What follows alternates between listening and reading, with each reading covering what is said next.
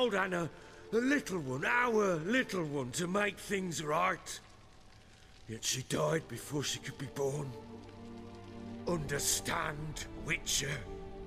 My child was dead. Alright. I sympathize. I do. Alright. let's Thank you. Be nice. And know that I hope you find your Ciri. Deal we made means I need to find Tamara and Anna first.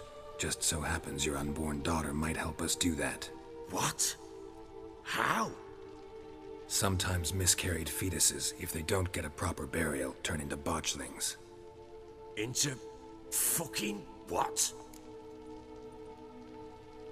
Um, no. Details you don't need to know. There's a bond of blood between this creature and your wife and daughter. I can use that bond to find them. Yeah, don't tell him about that. How?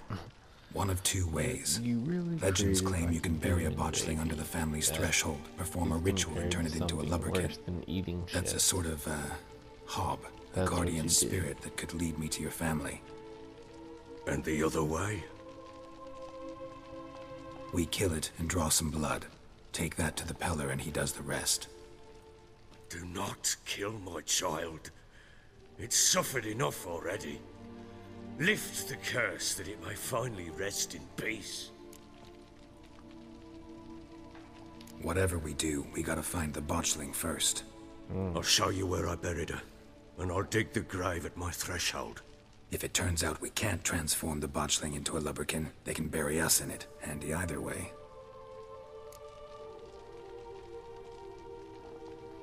Gonna make get you later. Need to tend to something first. Be quick. And me?